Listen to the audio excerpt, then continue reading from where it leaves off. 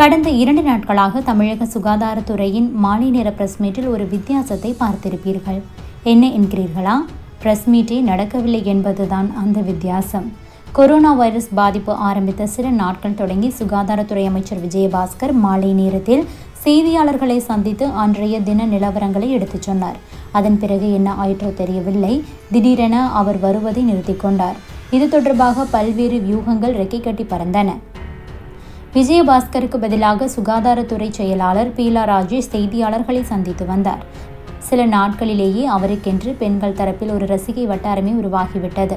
அவரது பேட்டி ஸ்டைல் உடை ஆகியவற்றை பற்றி பெண்கள் மத்தியில் பேசு பொருளாக மாறின. அவரது பிரஸ் மீட் லாபகம் பற்றி காங்கிரஸ் மூத்த தலைவர் ப. சிதம்பரம் கூட வெளிப்படையாக பாராட்டு தெரிவித்தார்.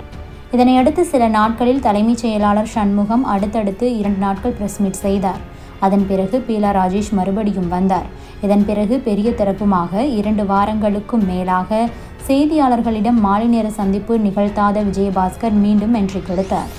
எது எப்படியோ யாரோ ஒருவரால் செய்தியாளர் சந்திப்பு மட்டும் நடந்து கொண்டிருந்தது. ஆனால் நேற்று மற்றும் நேற்று முன்தினம் செய்தியாளர் சந்திப்பு நடத்தப்படவில்லை.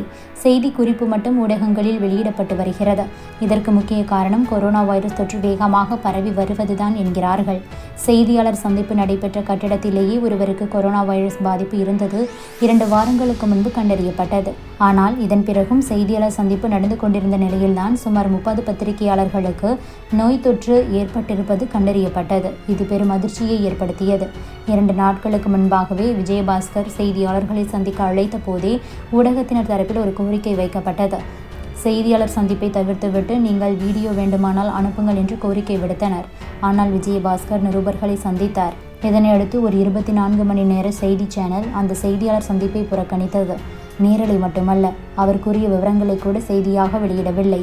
ஊடகத்தினரின் மனக்குமரலை அடுத்து நேற்று முதல் செய்தியாளர் சந்திப்பு நடத்தப்படாமல் தவிர்க்கப்பட்டிருக்கிறது. இனிமேல் கொரோனா வைரஸ் பிரச்சனையும் ஓயும் வரை மாலை நேர செய்தியாளர் சந்திப்பு நடைபெறாது என்று அரசு துறை வட்டாரங்கள் தெரிவிக்கின்றன. அதற்கு பதிலாக ஊடகங்களுக்கு பிரஸ் ரிலீஸ் அனுப்பி வைக்கப்பட இருக்கிறது.